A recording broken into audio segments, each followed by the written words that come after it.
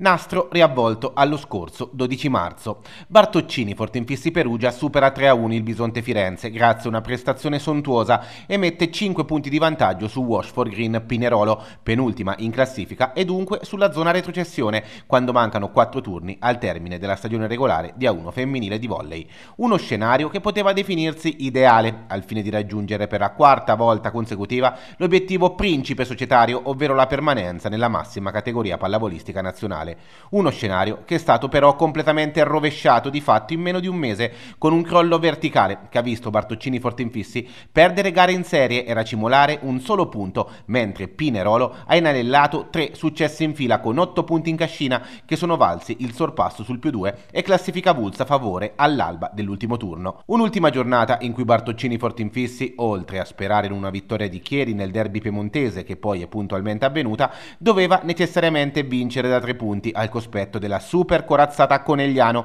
già certa del primo posto in campionato. Le Pantere però hanno giocato da Pantere, conquistando l'intera posta in palio con un secco 0-3 e condannando così Perugia alla retrocessione in A2 con il coach di Moco Daniele Santarelli, Folignate Doc, che non avrebbe mai voluto essere il boia dell'unica squadra che fino ad oggi rappresentava l'Umbria nell'elite pallavolistica tricolore. Non era il finale che volevo, perché ovviamente tornando qui a casa dopo tanto tempo avrei avuto piacere di, di riabbracciare le persone che conosco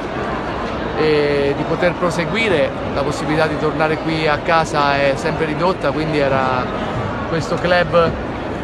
secondo me era una chance importante, avevano una chance importante e per me era un'occasione per tornare a casa. Non era il finale che, che avrei voluto, però noi dovevamo pensare a noi stessi. Ovviamente non è stata la sconfitta con Conegliano a portare Bartoccini Fortinfissi nel baratro. Il progetto condiviso da società e staff tecnico guidato da coach Bertini era quello di ottenere la salvezza con un organico estremamente giovane, con due 2002 Noa Calore Armini e una 2003 Gardini, spesso assieme nel sestetto tipo, assieme a rookie assolute per la Serie A, come la coppia diagonale formata dalle statunitensi Dilfer e Samedi, ambedue poi cedute in corso d'opera. Sì, perché i soli sette punti racimolati dopo il girone d'andata e 9 sconfitte in serie tra novembre e gennaio hanno fatto propendere la società a investire nei ruoli di alzatore opposto inserendo elementi di esperienza come Santos e Galkovska, sopperendo al centro all'infortunio di Bartolini con la Transalpina Garzia. Una crescita sia dal punto di vista tecnico che caratteriale c'è stata, ma non è bastata a causa di troppe occasioni perse, soprattutto negli scontri diretti con Pinerolo, con gara d'andata vinta solo al tiebreak dopo essere stata avanti 2-0